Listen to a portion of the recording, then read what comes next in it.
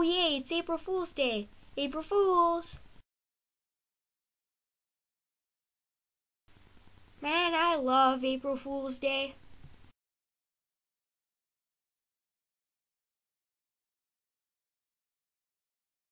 If he thinks that's so funny, let's see how he likes this. He'll probably think it's hilarious.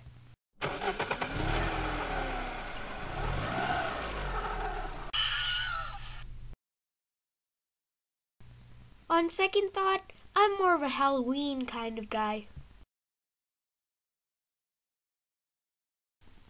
Oh yay, it's April Fool's Day. April Fools!